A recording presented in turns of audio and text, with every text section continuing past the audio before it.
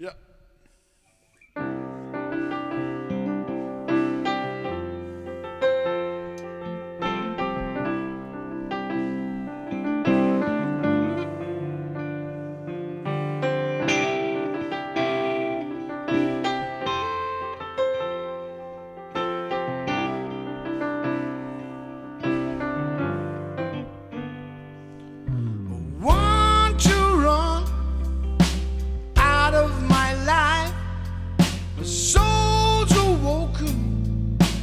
I can't wait.